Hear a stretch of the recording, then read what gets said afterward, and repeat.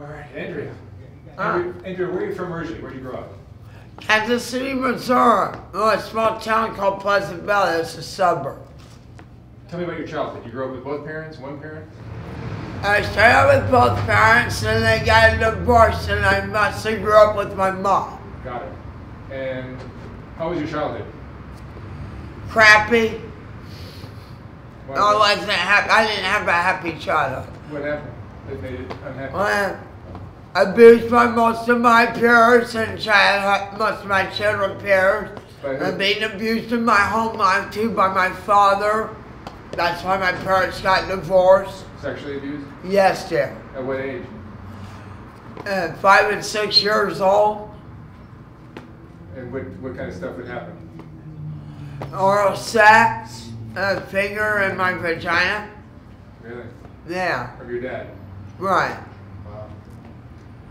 And, and so, uh, what happened to your life as you as you got older in high school? How, what kind of kids were you in high school? I grew up well loved by my mother, but I really had very few friends and I was very lonely. Mm. I grew up very lonely. I've had a, I've had much more, uh, much more happy social life in my adult life. I'm sorry. I've had a much happier social life in my adult life. Oh, I see. And how long have you been down here in the street on Skid Row? I've been down here since December 23rd, 2002. So you've been here for almost 20 years.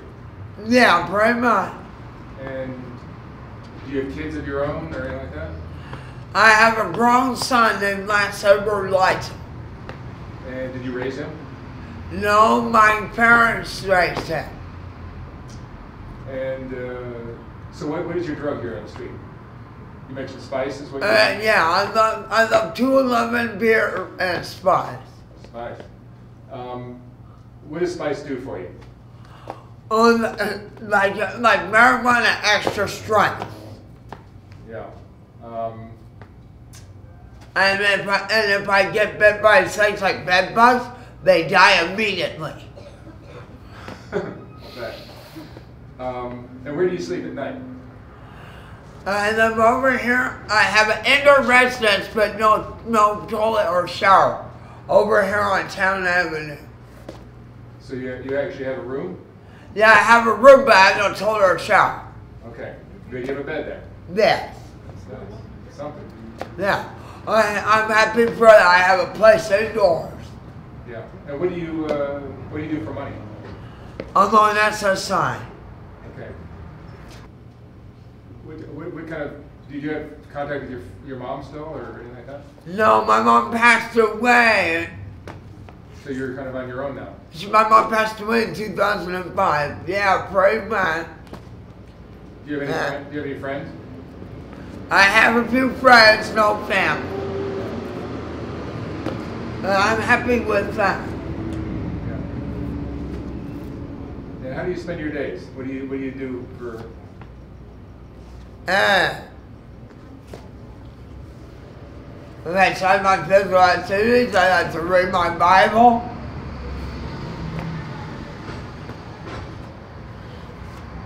how often do you uh, do you smoke spice? every day. Every day. Was that the uh, what was the first drug you tried? I drink alcohol. Alcohol? Wait a minute, not cigarettes, tobacco before did alcohol. Have you? Tobacco is considered a drug, right? Yeah, I guess. so. Have you uh, have you tried cocaine or heroin or crystal meth? Uh, and I heard crystal meth. I have tried cocaine before, uh, a long time ago when I lived in Florida. Uh, I'm not talking about crack, real coke. Oh, was that? I just want marijuana, that's that. All right, Daryl. Well, thank you so much. Uh, remember, that's right, huh? Thanks. Well, Angela, thank you so much for talking to me, and Yeah. good luck with everything out there. Oh, yeah, it's there.